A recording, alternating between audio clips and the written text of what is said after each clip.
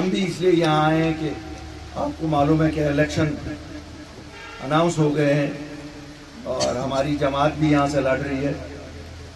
मुझे जमात ने ये जिम्मेवारी दी है कि आप वहाँ जाके जमात की तरफ़ से लड़ें। मेरी जान तेरी जान। जान भाई जान।